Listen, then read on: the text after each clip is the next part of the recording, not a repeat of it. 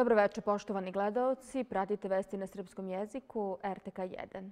Nakon što je samo opredeljenje javno objavilo novu ponudu upućenu Isi Mustafi, iz Demokratskog saveza Kosova stiže potvrda da je i ova stranka poslala u pisanom obliku predlog lideru samoopredeljenja Albinu Kurtiju.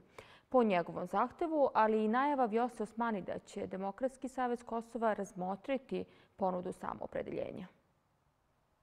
Danas je predsjednik Demokratskog saveza Kosova Isa Mustafa po zahtevu lidera pokreta samoopredeljenja Albinu Kurtiju poslao pisani predlog Demokratskog saveza Kosova usmeno predstavljen na sastanku 8. januara 2020. godine, potvrdio je port parol DSK Besijan Mustafa prenose medije. Detalji samog predloga, međutim, nisu precizirani. Ponuda DSK samopredeljenju poslata je samo dan nakon što je podpredsednik samopredeljenja Besnik Bislimi potvrdio da je njegova stranka uputila novu ponudu predsedniku DSK Isi Mustafi u kojem je precizirano povećanje broja ministarstva sa 12 na 14, od kojih će pet pripasti samopredeljenju, šest DSK-u, a umesto planirana dva, tri ministarstva manjinskim zajednicama. Poslanica pokreta samoopredeljenja Albuljena Hadžiju okarakterisala je netačnim glasine da će treće ministarstvo namenjeno nevećinskim zajednicama pripasti srpskoj listi. I dok DSK šalje svoju ponudu, kandidatkinja za premijerku na poslednjim izborima iz ove stranke Vjosa Osmani danas je potvrdila da će DSK razmotriti najnoviju ponudu pokreta samoopredeljenje. Kako je navela, ovim pitanjima raspravljaće se na Generalnom savetu DSK vrlo brzo. Predsednik Kosova Hašim Tači danas je obavio telefonski razgovor sa visokim predstavnikom Evropske unije za spodnu politiku i bezbednostnu politiku Jozepom Borelom, sa kojim je razgovarao o evropskoj perspektivi i dešavanjima na Kosovu i u regionu. I u Beogradu je zvanično potvrđeno da je predsednik Srbije Aleksandar Vučić telefonom razgovarao sa Borelom koji je najavio svoju skoru posetu u Beogradu, ali i Prištini, kako bi lično sagledao mogućnosti za obnovu dijaloga posle formiranja vlade Kosova. Predsednik Tači i visoki predstavnik Evropske unije Jose Borel složili su se da je potrebno što pre uspostaviti nove upravljačke institucije na Kosovu. Svesni smo da nas očekuju veliki zadaci da je potrebno što pre uspostaviti novu vladu koja će se suočiti sa izazovima i ispuniti međunarodne obaveze koje Kosovo ima, rekao je predsednik Tači. On je naglasio da je Kosovo posvećeno završetku reformi koje je započeo, a koje su ključne za članstvo Kosova u Evropskoj uniji. Predsednik Tači zahtevo je da Evropska unija ispuni svoju obavezu da ukine vize za kosovske građane, jer je Kosovo ispunilo sve potrebne kriterijume, rekao je predsednik Tači u telefonskom razgovoru sa visokim predstavnikom Borela. Predsednik Tači i visoki predstavnik Evropske unije složili su se o potrebi kontinuiranog bezuslovnog dijaloga između Kosova i Srbije, kao i neophodnosti postizanja konačnog sporazuma između Kosova i Srbije, koji podrazumeva međusobno priznavanje između dve države.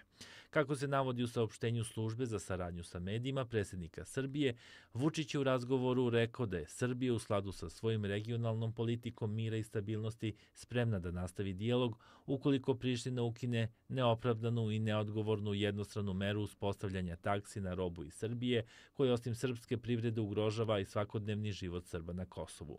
On je istakao da su takse u suprotnosti sa svim evropskim pravilima slobodnog protoka robe, kao i sa obavezama koje je Priština preuzela u okviru regionalne saradnje. S tim u vezi je naglasio da je važno da evropske institucije i zemlje članice Evropske unije ostanu pri stavu da je neophodno da kosovske vlasti ukinu takse na robu iz Srbije kako bi dijalog bio nastavljen.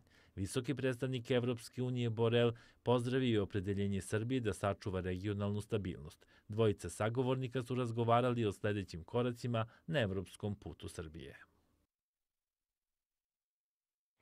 Pre 21 godine događaje u Račku podstakli su saveznike NATO-a da intervenišu i okončaju ratne sukobe 1999. godine. Navodi se u zajedničkom saopštenju ambasadora zemalja Kvinte na Kosovu. Čuvajmo sećanje na one koji su stradali u Račku i svih drugih pokolja na Kosovu pre dve decenije, radeći zajedno na izgradnji budućnosti mira, pravde i blagostanja za buduće generacije, dodaje se u saopštenju. Vlade Kosova i Srbije moraju da osiguraju da žrtve i njihove porodice imaju potpuni pristup pravdi i informacijama o sudbini njihovih najmilijih, poručili su ambasadori SAD-a, Italije, Francuske, Nemačke i Velike Britanije na Kosovu. U Račku su danas prisustvovali brojni kosovski zvaničnici. Presudom Osnovnog suda u Severnoj Mitrovici, sudski jedinicu u Leposaviću, dvoje ruskih državljana koje su juče pokušali da ilegalno pređu granični prelaz između Kosova i Srbije, kažnjeni su sa po 250 evra i bit će deportovani sa Kosova. Oni su obavezni da plate i sudske troškove, rekao je predsjednik Osnovnog suda u Mitrovici Nikola Kabašić.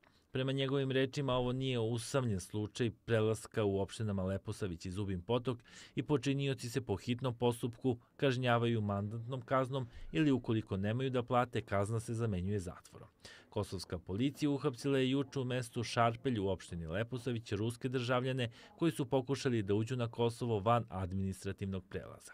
Zbog pokušaja ulaska sa Kosova u Srbiju na istom mestu uhapšenu su i dvojica državljana Albanije i njima će u toku dana biti izrečena kazna predviđena zakonom o ilegalnom prelasku granice. Gračaničko ili Badovačko jezero nastalo je veštačkom akumulacijom još davne 1966. godine kako bi se Priština, ali i okolina snabdevala vodom. Badovačko ili Gračaničko jezero veštačka je akumulacija na reci Gračanki.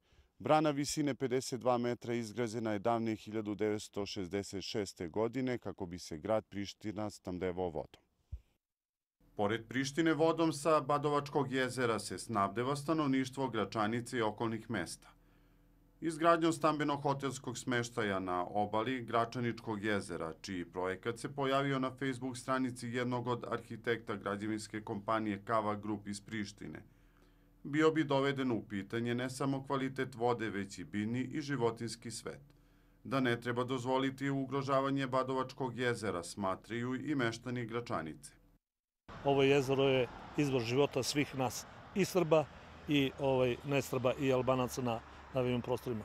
Zato mislim da trebamo malo više uh, povesti računa o svemu, malo ga više zaštititi, malo ga više odbraniti od svega. Inicijativa o zaštiti Gračaničkog jezera zaživela je na Facebooku. Grupa sada broji preko 20.000 članova, a pokrenuta je i peticija koja do sada ima 6.000 potpisanika.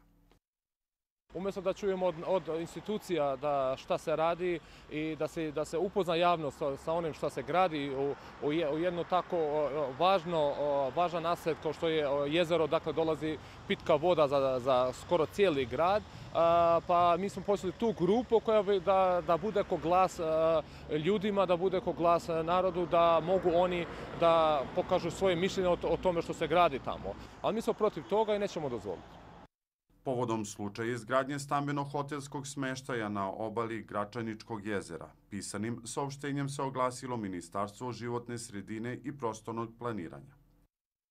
Garantujemo da pomenuta kompanija i njen vlasnik nemaju dozvolu Ministarstva prostornog planiranja za takav projekat – Ministarstvo prostornog planiranja je prema odluci Republike Kosovo broj 16 kroz 127 od 24. aprila 2013. godine zaduženo za zaštićene zone, u konkretnom slučaju i za zaštićenu zonu u okolini Badovačkog jezera. Prema tome, bilo kakva izgradnja u tom delu mora biti u skladu sa zakonima, kriterijumima i procedurama predviđenim zakonom, nakon čega se može odlučivati da li se takav projekat može realizovati ili ne. Uputili smo i pismeni zahtev opštini Priština. Inspektorat pri Ministarstvu prostornog planiranja neće dozvoliti ugrožavanje zaštićene zone u blizini Badovačkog jezera. Iako je Kava Grup zakazala konferenciju za medije na kojoj bi javnosti bili predočeni detalji projekta, konferencija je odložena uz obrazloženje da stručnjaci i projektantske firme 4M kompanije iz Londona – nisu bili u mogućnosti da prisustvuju zakazanoj konferenciji. I za kraj vesto vremenu.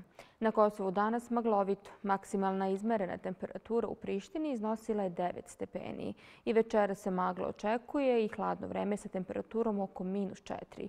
Sutra, kako najavlju meteorolozi, jutro maglovito sa minimalnim temperaturama oko minus 7, a tokom dana slabi sunčani intervali sa maksimalnom temperaturom oko 5 stepeni. Bile su ovo vesti na srpskom jeziku. Hvala na pažnji i ostanite uz naš program.